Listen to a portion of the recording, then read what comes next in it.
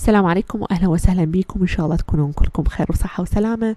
إليكم فيديو الجزء الثاني حول زراعة قصب السكر وأهم المعلومات اللي لازم تعرفوها من ناحية الشروط ومن ناحية الري والتسميد وإلى آخره. تكلمنا في الجزء الأول اللي راح أخلي الرابط لفيديو الجزء الأول بصندوق الوصف. أسفل الفيديو. تكلمنا على أهم المعلومات الأساسية لازم تعرفوها وطريق خطوة بخطوة أه خمس خطوات أساسية لزراعة قصب السكر والمواعيد أيضا. لكن بهذا الفيديو راح نتكلم بمرحلة ما بعد الزراعة.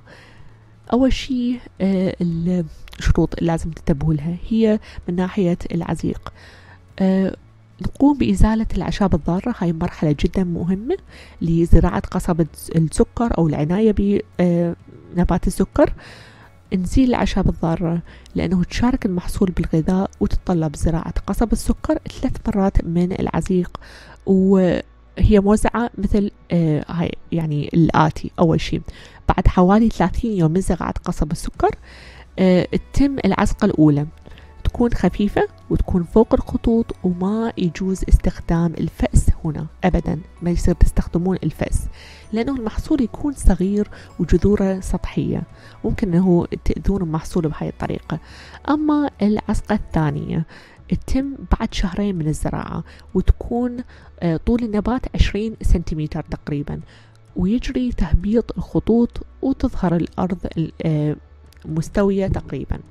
أما في المرحلة الثالثة بعد ثلاث أشهر من الزراعة النبات يكون أصبح فوق الخطوط وبهاي العسقة تكون ارتفاع النبات 35 سنتيمتر تقريبا. أما عن معلومات أساسية حول مرحلة التسميد فزراعة قصب السكر يحتاج إلى تقريبا 100 إلى 150 وحدة آزوت للفدان وأيضا يحتاج زراعته إلى تسميد بوتاسي بما يقارب تقريبا 25 إلى 50 كيلوغرام للفدان. مع إضافة عناصر الحديد وعناصر الزنك والمغنيز كل هاي العناصر مهمة جدا في مرحلة التسميد إضافتها لنبات قصب السكر. هاي العناصر يتم إضافتها بعد وصول ارتفاع النباتات إلى 50 سنتيمتر. أما من ناحية الري فمحصول قصب السكر يحتاج إلى الكثير من الماء حتى ينمو بصورة صحيحة بصورة صحية. آه وأهم شيء نتبع الخطوات الآتية وما نفرط أبدا في الري.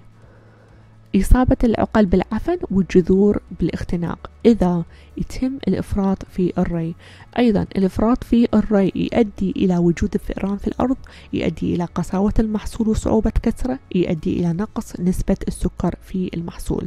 بشكل عام نحتاج آه إلى 25 رية. أول شيء تكون أول رية بعد الزراعة فورا. الثاني آه بعدين يتم الري آه القصب السكر. مرة ثانية بعد أسبوع. بعد أسبوع من الزراعة يتم الري مرة ثانية.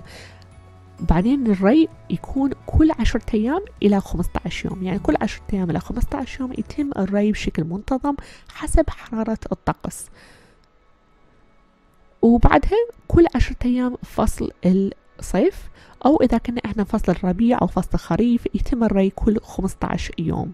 أما من ناحية الحصاد فحصاد المحصول فصل الخريف أو يعني من نهاية سبتمبر في المناطق الباردة حتى نهاية أكتوبر في المناطق المعتدلة. وأيضا نمتنع عن الري قبل حصاد فترة 20 إلى 30 يوم. الحصاد أول شيء يتم بالمراحل الآتية. أول شيء نقطع القصب بواسطة منجل أو منشار أو سكين خاصة ويكون القطع بشكل مائل. ولازم ننتبه إنه يقطع من أسفل الساق حتى نستفاد بشكل كامل منه وما نخلق ما يتم خلع من تحت التربة لأنه راح ينمو في العام القادم. وأيضا آه آه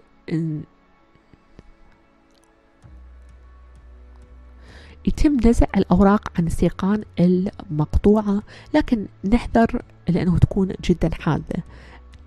نحذر لأنه تكون جدا حادة.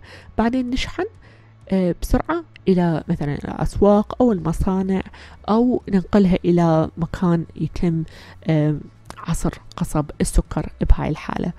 فتكلمنا اليوم على أهم المعلومات الأساسية اللي لازم تعرفوها.